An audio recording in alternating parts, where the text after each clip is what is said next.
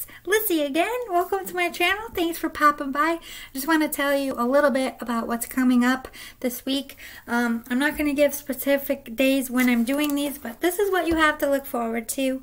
We have four more, um, at least four more Toy Story books to read for the kids out of the storybook collection. So if your kids are really into Toy Story, one is up already, but I will be putting four more up this week. So stay tuned for that, especially if you got kiddos.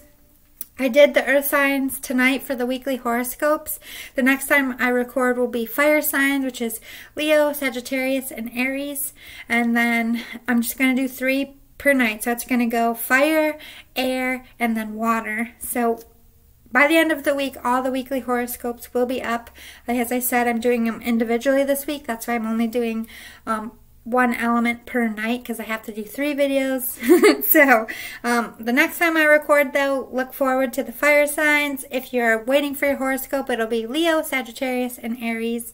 Look forward to those four Toy Story books coming.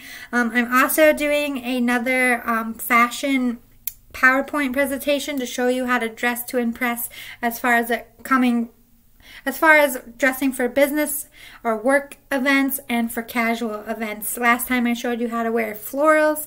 Now I'll bring you into spring in the business sense and just casual events. We'll cover that as well.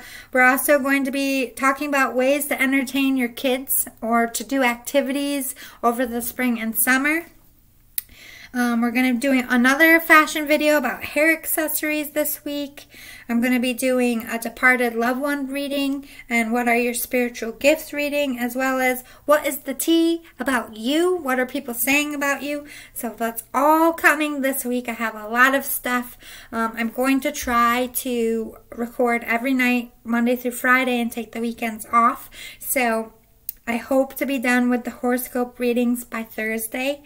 Um, the next time I read, not only am I doing the fire signs, a Toy Story book, but then we're going to do that spring fashion for business casual. Um, so hopefully that's Tuesday. But Wednesday, I'm hoping to do all the air signs and to do the kid activities for summer and spring, ways to help you entertain them.